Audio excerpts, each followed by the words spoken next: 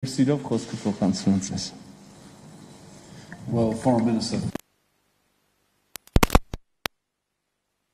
ջերմ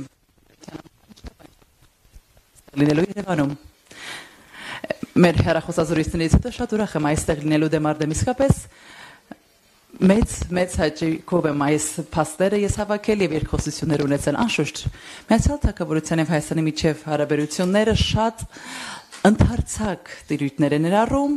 դա է թե կառավարման տնտեսական բարեփոխումներ, առևտուր, պաշտպանություն, մշակութային եւ կրթական կապեր են ներառում եւ անշուշտ այս օրերի աջակցությունը եւս այս հակամարտությունը ազդում է այս ամենի վրա։ Միացյալ Թագավորության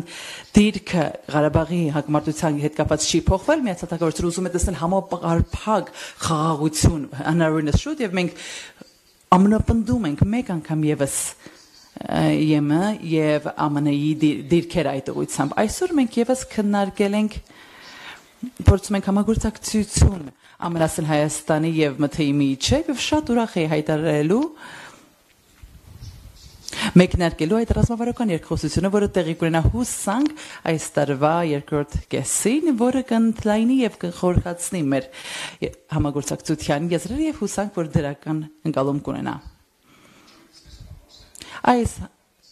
հանդիպման ընթացքում կհանդիպեմ նաև վարչապետ Փաշինյանի հետ, կխոսենք Միացյալ Թագավորության եւ Հայաստանի համագործակցության մասին եւ մեր շարունակական աջակցության մասին։ Հայաստանի ժողովրդավար եւ տնտեսական բարեփոխումների օրակարգին, որը մենք անչափ կարեւոր ենք համարում, սա է հանդիսանում բարգավաճման եւ զարգացման ակունքները անվտանգության եւ խաղաղության համար։ Մենք շատ ուրախ ենք այն փոքրիկ, բայց կարևոր դերակատարումը, որ ունեցել ձեր բարգավաճման ժողովրդավարության ուղղությամբ եւ փորձում ենք ել ավելի ամրացնել այս հարաբերությունները ապագայում։ Ոստի իսկապես մեկ անգամ եւս ցույց տվեք շնորհակալություն այդել ժամանակի եւ ձեր պատասխանատվության համար շատ ուրախ եմ այսօր այստեղ լինելու Երևանում։ Հուսամ, որ սա շատ կարևոր եւ զգալի կարևորություն ունեցող այց կլինի Հայաստան։ Շատ շնորհակալ եմ։ Շատ շնորհակալ եմ այս պահին մեր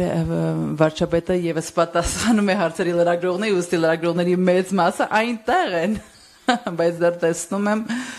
որ մի քանի գործընկերներ կան, որոնք անշուշտ որոշ հարցեր կցանկանան բարձրաձայնել։